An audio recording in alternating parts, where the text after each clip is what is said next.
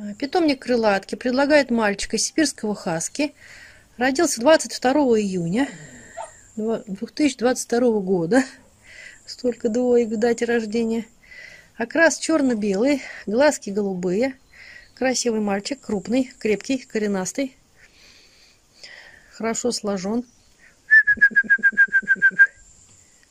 Уравновешенный, спокойный характер.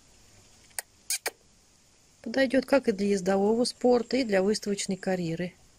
Будет настоящий вожак в стае вашей семьи.